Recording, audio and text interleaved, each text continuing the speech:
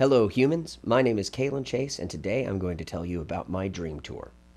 So, first and foremost, don't think about the bands on your dream tour. Don't think about that. Think about your crew, because it takes a great crew to make a great tour, and they do not get thanked enough. So, thank you to all crew uh, who make those shows happen out there.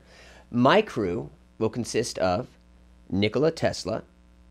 I don't know exactly what his position is, but he's going to do awesome science stuff to make you know better power. Maybe the cars won't need gas. Who knows? I'm going to let him have free rein on all the uh, technology for the tour. Um, you got to eat, so uh, I would definitely want uh, a couple great chefs for my catering. Uh, I'm going to get uh, Cat Cora. Uh, I'm going to get Bobby Flay. You know, I know they're Food Network guys, but I like them. And I want to get David Chang. Those will be the three chefs they can switch off, you know, because they're busy. Um, you got to have great press, and it's great when you have a traveling uh, journalist with you. So I'm going to get Hunter S. Thompson.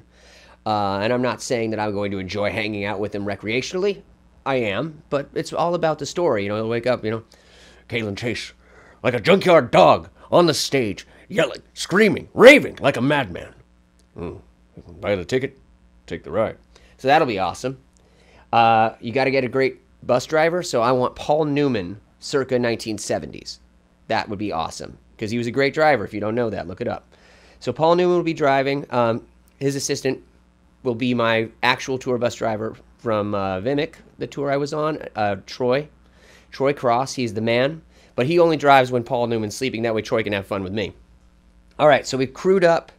Uh, I guess, you know, let's get a good merch girl. Let's get Mariah Carey for like a couple weeks just to take her down a peg. And then we'll fire her and leave her in Sheboygan because, you know, I think karma All right.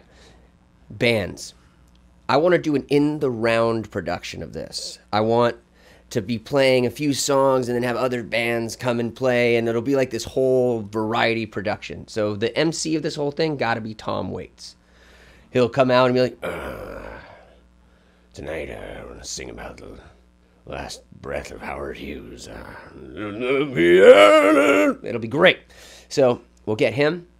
Uh, Type Negative will be there. Uh, God rest your soul, Peter Steele. But you'll be alive in my dream tour, and you'll be playing.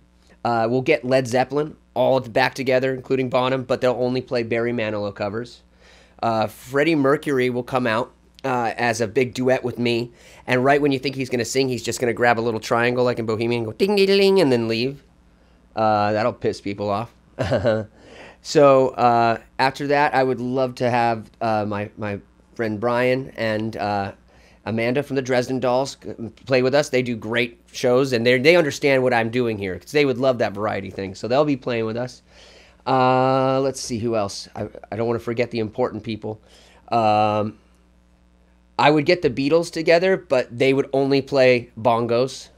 Uh, all the Beatles would just play bongos, but they wouldn't play them in time. They'd all be playing different songs. That would last for about three minutes. This is all about testing the strength of the audience. Uh, but in all seriousness, if I could, uh, if I could have that tour, uh, that would be a dream come true. So I hope you enjoyed that. Dream big, even if it's impossible. It's fun to talk about. Cheers, guys.